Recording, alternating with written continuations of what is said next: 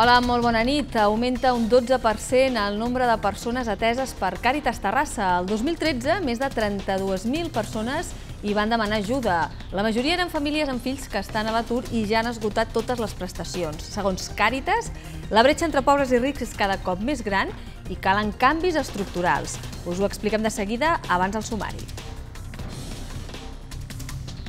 La policia ha detingut un jove acusat de calar foc a set contenidors i un vehicle aquesta matinada al barri de Sant Pere Nord. Els incendis han causat danys materials i dues persones ferides lleus. Els vehicles que circulen per la carretera de Terrassa a Talamanca s'han de desviar des d'avui. Durant els propers tres mesos, un tram de la via estarà tallat al trànsit en els dos sentits de la circulació. Demà comença la sisena edició del cicle Sons Clàssics. Fins al mes de juny s'oferiran 8 concerts en 8 llocs diferents arreu de la ciutat, principalment en equipaments municipals, museus i centres cívics. El Terrassa Futbol Club no vol acomiadar-se del play-off. La victòria ahir al camp del Sant Boià per 0 a 2 en gols de Gallar i Héctor a la primera meitat ha estat tota una injecció de moral pels de Miqui Carrillo. Tot i això, l'equip egarenc no ha pogut retallar les distàncies amb la promoció d'ascens, ja que els seus rivals més directes també van guanyar. Al bloc esportiu repassarem aquest partit i veurem la jornada transcendental del proper diumenge, on el Terrassa podria donar un pas important a les seves aspiracions. També parlarem d'hoquei herba, perquè la selecció espanyola femenina, amb sis jugadores agarenques dins del combinat d'Adrian Locke, ja es troba a Glasgow per disputar a partir de diumenge el Champion Challenge. I aquest dijous analitzarem la representació agarenca a la Trail Walker 2014, la cursa solidària de 100 quilòmetres que organitza Intermón Oxfam i que es disputa aquest proper cap de setmana.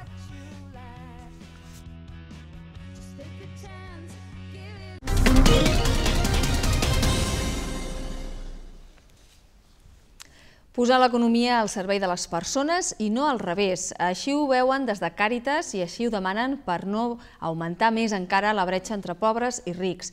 I és que des que va començar la crisi no para d'augmentar el nombre de persones que han d'atendre i estan en situació de pobresa i exclusió social més de 32.300 persones ateses per Càritas a Terrassa el 2013 i 70.000 a tota la diòcesi. Aquestes xifres representen un increment del 12,3% respecte a l'any anterior. D'ençà de l'esclat de la crisi, el 2009 l'acció social de l'Església Catòlica ha ajudat prop de 300.000 persones, gràcies a 2.000 voluntaris i professionals repartits en 127 punts d'atenció. Són les colpidores dades que s'han donat a conèixer en la presentació de Càritas Diocesana de Terrassa i és que gairebé 14 anys després de la creació de la diòcesi, el passat gener es va completar l'estructura diocesana de Càritas que inclou els dos Vallesos, 1,2 milions d'habitants. Els serveis centrals i la coordinació s'han ubicat a Sabadell. Però darrere d'aquestes dades hi ha milers de persones i famílies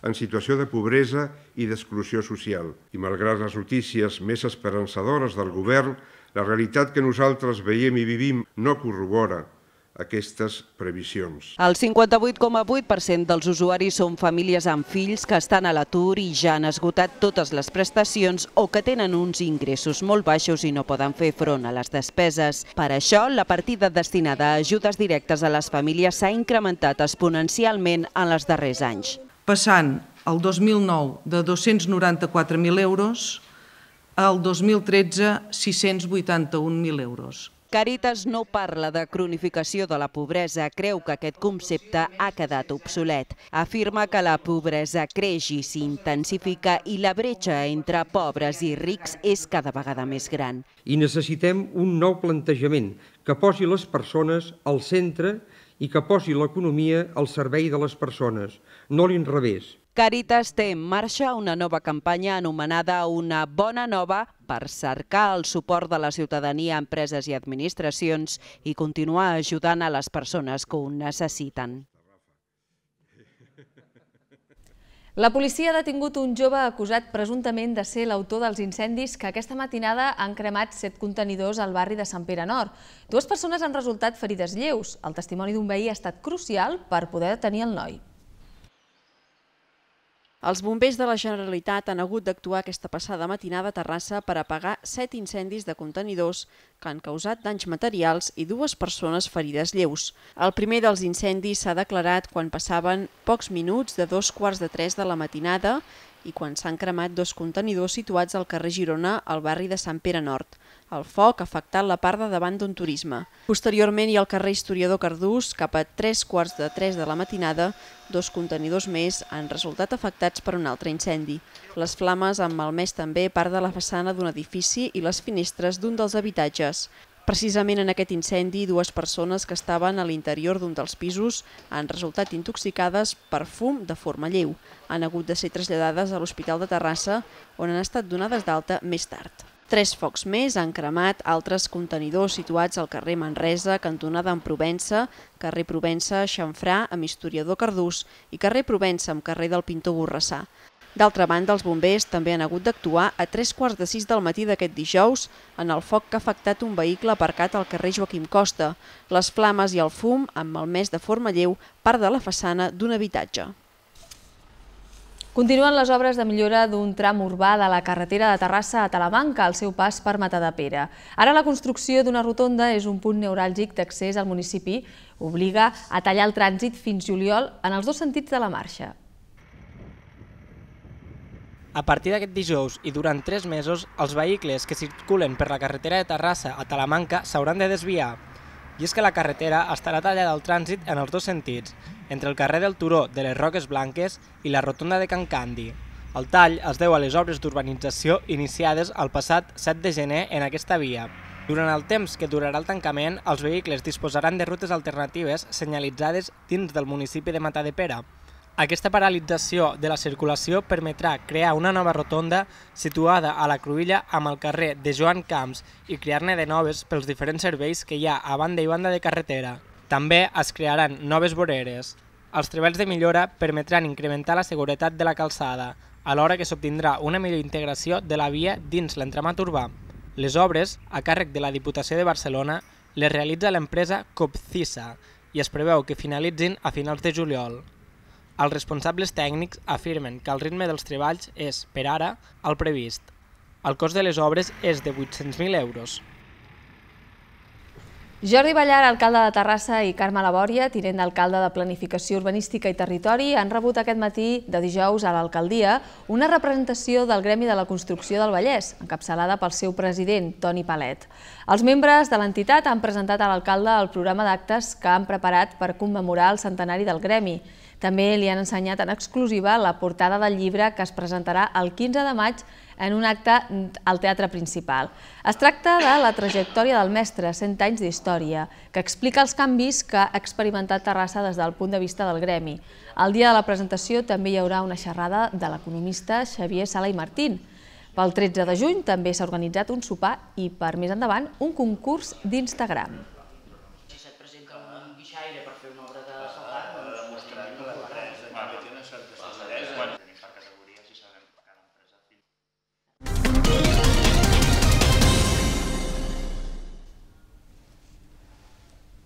Moment ara pels esports que, com cada dia, ens els porta Joan Gutiérrez. Molt bona nit. Què tal? Bona nit, Laura. Avui parlem de futbol, del Terrassa, que eh, bueno, aquesta victòria que ja vam avançar ahir al vespre, no? Bé, ahir anava molt encarrilada, anava amb aquest 0 a 2, finalment es va mantenir aquest resultat, però no ha acabat de, de ser el suficientment important aquesta victòria. Ara ho expliquem Transcendental. Sí, sí, la veritat és que bo, però els resultats no van acompanyar. Ho expliquem tot eh, seguit, eh, com dèiem, victòria, però tot queda igual. La distància amb el Terrassa, amb la resta dels equips que el precedeixen, continuen a 5 punts, tot i el triomf, com deien, dels de Miqui Carrillo per 0 a 2 a Sant Boi. L'escó, ara mateix el referent del Terrassa, es va imposar també per la mínima al líder, la muntanyesa. El Terrassa Futbol Club no renuncia al playoff d'ascens. Aquest dimecres ha guanyat 0-2 al Sant Boià i puja un lloc a la classificació, tot i que la victòria no li ha servit per reduir les distàncies amb el quart. L'Escó també ha derrotat el líder, la Muntanyesa, i la diferència entre tots dos equips continua sent de 5 punts. Un partit el disputat al municipal de Joan Baptista Milà que no se l'ha volgut perdre el president del club terrassenc, Jesús Fernández. L'efectivitat dels de Miqui Carrillo en la primera meitat ha estat clau pel triomf. Els de Sant Boi han disposat d'ocasions per batre Ortega, però el porter del Terrassa ha estat molt encertat en les seves intervencions. En canvi, en dues accions puntuals, l'equip agarenc ha encarrilat la victòria. En el minut 34 ha arribat al 0 a 1. Javi González, sortint des de la seva pròpia àrea, ha iniciat un ràpid contracop. El defensa ha assistit a Gallar, que ha combinat amb Isaac Maldonado, i aquest, després d'entrar dins l'àrea rival, ha tornat la pilota a Gallar, que amb un potent xut ha batut Hugo. La sentència ha arribat en l'últim minut de la primera meitat. Héctor i Marc Vilajosana, dues de les novetats en l'11 titular respecte a l'últim partit, han fabricat el 0 a 2, que ha acabat transformant el migcampista del Terrassa. A la represa, els agarencs han controlat el partit i només el Sant Boià ha portat perill en el tram final, amb un xut desviat d'Eloi i un altre de Pedro Bilbao, que s'ha estavellat al pal. Carrillo confia encara en les possibilitats del seu equip. Tot pot passar, no? i el diumenge és una jornada molt, molt, molt interessant, que els sis de dalt, excepte nosaltres, juguen entre ells, hi ha un, un, un Rubí que avui s'ha ficat a pomada, que penso que el marcador tothom em deia que és dolent, jo penso que és bo, guanya el Rubí, perquè el diumenge amb l'Escó eh, pot, pot entrar al playoff el Rubí, i això es dona que, que el partit serà més competit, hi ha un Palamós també ficat contra Europa i hi ha una muntanyesa Cornellà, sempre que, que, que, que, que el Trassa guanyi el seu partit a Gavà, que no serà gens fàcil, que és el més important, no podem mirar als, als, al costat, sinó fem la feina. Diumenge el Gavà, un equip immers en la lluita pel descens, visitarà l'Olímpic. Emoció màxima doncs, en aquesta tercera divisió. Fins a set equips opten a les quatre places de playoff descens. En repassem com queda la classificació. La muntanyesa, tot i perdre, continua liderant la taula amb 66 punts, un més que l'Europa. El Cornellà, que juga aquesta nit el partit de la 34a jornada davant del Masnou, en té 64, els mateixos punts l'Escó, que ocupa l'últim lloc de promoció. Rubí, Terrassa i Palamós, amb 60, 59 i 58 punts respectivament, encara hi opten en les quatre darreres jornades. Precisament la propera, la de diumenge, serà clau. El Rubí Escó eh, obrirà el foc a les 12 del migdia, un partit on interessa una victòria dels ballesans. A la tarda hi haurà els altres tres, entre ells el Terrassa Gavà, que el club pagarenc ha establert com a jornada econòmica. El soci, doncs, haurà de pagar 5 euros, però a canvi rebrà dues entrades pel darrer partit a l'Olímpic davant l'Europa el 4 de maig.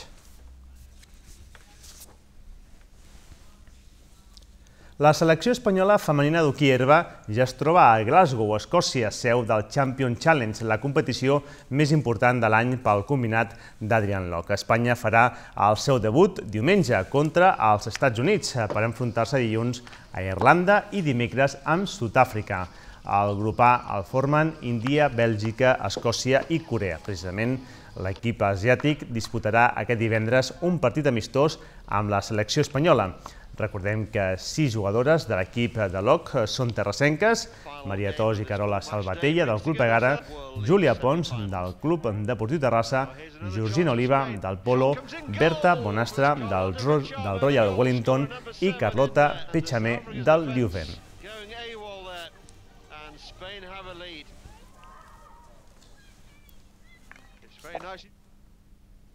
Tres equips terrassencs participaran aquest dissabte en una de les curses de la Trail Walker a Espanya, la que recorre la Via Verda Pirineu-Costa Brava. 1.500 participants intentaran fer els 100 quilòmetres de distància en només 32 hores, amb una finalitat solidària, lluitar contra la pobresa. La ruta del carrilet entre els municipis d'Olot i Sant Feliu de Guíxols, coneguda també com a Via Verda Pirineu-Costa Brava, serà un any més l'escenari d'una de les dues curses de la quarta edició de la Trail Walker a Espanya. Serà aquest proper cap de setmana. L'altra competició tindrà lloc a Madrid el 5 i 6 de juliol. Dissabte a les 10 del matí es donarà el tret de sortida des de la capital de la Garrotxa als 1.500 participants repartits en més de 350 equips. Cadascun d'ells, format per quatre corredors i dues persones més que integraran l'equip de suport, han hagut d'aconseguir un mínim de 1.500 euros a través de donatius per fer la inscripció. Hi ha prevista una bona representació de corredors agarencs en aquesta cursa solidària de 100 quilòmetres organitzada per Intermón Oxfam. Terrassa estarà representada pels Pantaurells, l'Escola Pia i Zancades Canyeres, tot i que la comarca també serà present amb els actuals campions, Critter Software, entre d'altres. La Trail Walker, tant la versió gironina com la resta que es fan al món, té com a objectiu lluitar contra la pobresa a través de 400 projectes de cooperació, acció humanitària, comerç just i sensibilització en 40 països. Entre les dues curses que es fan a l'Estat ja s'han recaptat prop de 747.000 euros.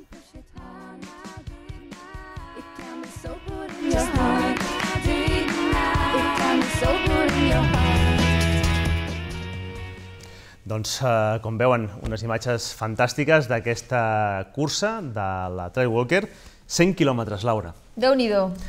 Això és Kilian Això Jornet, no? valents, Un valents. tema potent. De... Jo, si vols, eh, t'aconsello dues propostes més a prop de casa, que són la cursa del California Sports la setmana que ve, que són 5 quilòmetres, i d'aquestes setmanetes la cursa de Vallparadís, una de 5 i una altra de 10 quilòmetres. Molt més assequible, això. Són molt més assequibles, sí, sí. M'ho apunto. Gràcies. Joan. Vinga, demà, adéu. Demà.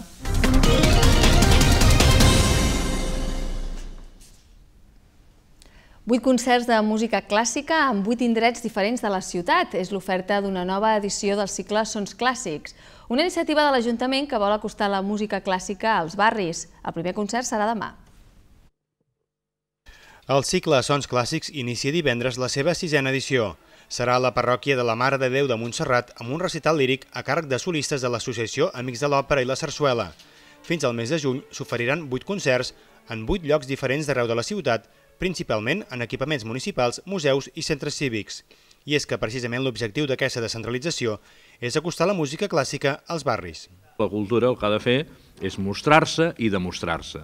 Mostrar-se en el sentit de, de ser-hi i que tingui l'accessibilitat fàcil. I demostrar-se en el sentit de dir això és el que et mostraré després. I si d'alguna manera a través d'aquests cicles el que fem és apropar encara més la, la, la cultura a les persones, doncs el que estem engrandint també aquell estàndard per l'afició a la música, a la cultura, des del seu àmbit més universal. Al maig, un trio de cordes al Centre Cívic Avalí Estranger, l'ensemble concertanti Barcelona, el Maria Aurelia Campmany, el duo de música medieval Efren López i Míriam Encinas a la Seu d'Ègara i un concert de cinema al president Macià. També la banda de Terrassa participarà en un concert al Parc de Sant Jordi i alumnes del Conservatori oferiran música antiga tradicional a la Casa Alegre. Al punt final, el cicle Sons Clàssics el posaran la violinista Adriana Alcaide i la violoncel·lista Francesc Barlet amb el concert El cel a la terra amb quatre cordes. Serà el 6 de juny al Casal Segle XX. Castellers i Minyons de Terrassa han participat aquest dimecres a la tarda en l'exhibició que s'ha fet a la plaça Vella amb motiu de la Diada de Sant Jordi, una actuació que dona el tret de sortida a la temporada castellera. Totes dues colles han complert amb les seves expectatives. Castellers i Minyons de Terrassa completen una bona jornada castellera de Sant Jordi aconseguint tots els castells de 7 i de 8 que s'han proposat. Els castellers han obert plaça amb un segur 4 de 7 amb agulla, una construcció esbelta que ha pujat lenta però neta i que han descarregat sense dificultat. Els Minyons han arrencat amb una torre de 8, un castell que ha tremolat una mica en el moment de muntar-lo, però que després d'un bon treball del tronc han aconseguit descarregar sense cap més problema. En el segon torn, els castellers han optat per un 5 de 7, un castell que, com la resta de l'actuació, els blau turquesa han fet amb seguretat i sense presses. Per la seva banda, els Minyons han aconseguit un celebrat 4 de 8 amb agulla, el primer que realitza la colla aquesta temporada. La tercera ronda s'ha completat amb un 4 de 7 dels castellers, una mica lent en la seva execució, però igual de segur que la resta dels castells que han fet. Els Minyons han fet sense cap mena de problema un espectacular 5 de 8.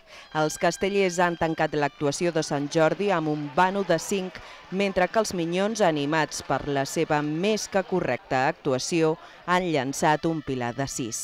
Els Malva han sorprès tota la plaça amb l'execució de 9 pilars de 4 simultanis, amb els quals han tancat la tradicional jornada castellera de Sant Jordi a la plaça Vella.